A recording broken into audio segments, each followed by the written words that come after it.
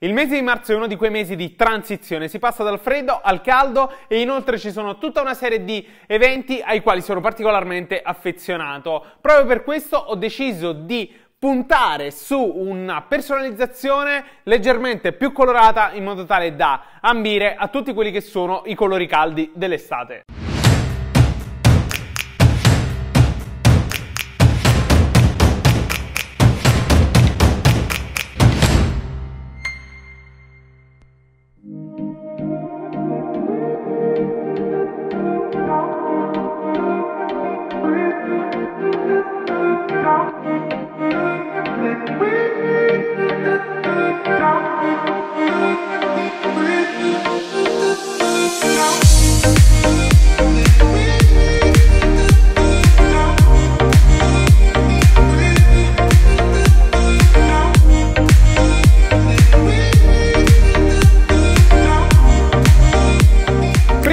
Cominciare volevo ricordarvi che se non l'avete ancora fatto dovete assolutamente iscrivervi al canale, attivare la campanellina e lasciare un bel like a questo video. Vi raccomando seguitemi anche su tutte le mie pagine social che trovate linkate qui sotto in descrizione perché ci sono veramente tante cose interessanti come la pubblicazione di questo sfondo e infatti partiamo proprio da qui perché questo sfondo è molto molto interessante creato in maniera super artistica con questi poligoni che si compongono e vanno a raffigurare questa bellissima immagine, ovvero una cascata con questo bel fiume, fiumottolo che si va a racchiudere, uh, che va a raggiungere quella che è l'orlo della cascata, in più tutte le zone terrene lungo i laterali e questo bel sole che spicca e va a colorare tutta questa bellissima zona. Per personalizzare ho utilizzato come al solito Rammeter. Rammeter per chi si fosse perso i vecchi episodi vi lascio il link link della playlist qui in alto nelle schede, potete andare a recuperare tutti gli episodi, praticamente ho utilizzato sempre e solo Rammeter, perché è un'applicazione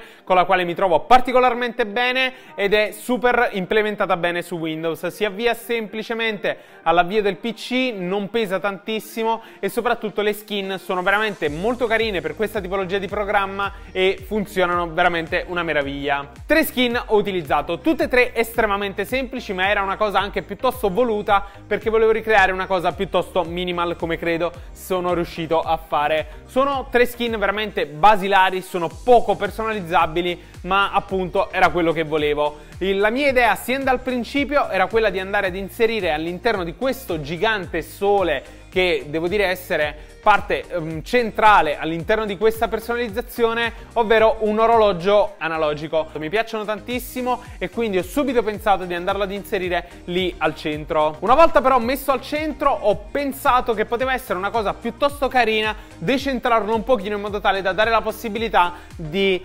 um, sovrapporlo e creare tipo come se fosse un'ombra creata dal sole. È una cosa che mi piace particolarmente e che credo si adatti anche meglio a tutta la personalizzazione visualizzazione. Mentre scrollavo su DeviantArt, che è il sito che vi lascio linkato qui sotto in descrizione, dove vado a scaricare tutte le altre skin, ho subito notato questa skin circolare che si adattava perfettamente intorno a quello che era il mio orologio analogico. E devo dire che si adatta perfettamente. È una di quelle skin che va a raffigurare tutte quelle che sono i, le fasi sonore del nostro computer. Non so principalmente come si chiama questa tipologia di audiometro o altre cose del genere. Vi raccomando fatemelo sapere qui sotto nei commenti. In ogni caso sono andato ad aggiungerlo lì in contrasto bianco e nero e devo dire che si trova veramente molto molto bene. Anche questo è personalizzabile in varie fasi. È possibile colorarlo e renderlo praticamente praticamente uh, come se fosse un arcobaleno, ma a me non piaceva particolarmente e quindi ho deciso di andarlo ad inserire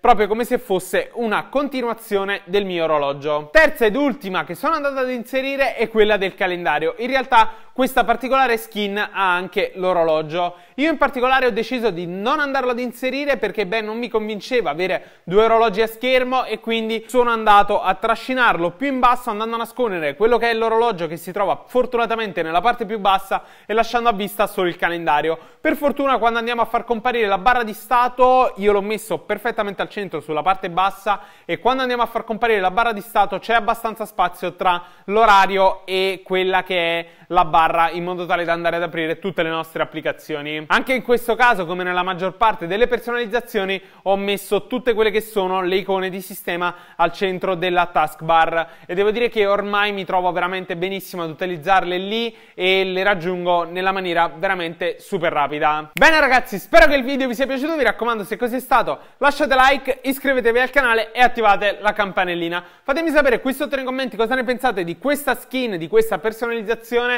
e fatemi sapere anche perché è una cosa che mi incuriosisce particolarmente sapere se anche voi andate a personalizzare il vostro computer e come lo fate in modo tale che potremo creare una miniserie qui sul canale con qualche piccola foto e io che vado ad analizzare quelle che sono le vostre personalizzazioni. Fatemelo sapere qui sotto nei commenti, seguitemi su tutte le mie pagine social, in particolare su Instagram che trovate linkate qui sotto in descrizione e noi ci vediamo prossimamente sempre qui sul mio canale YouTube.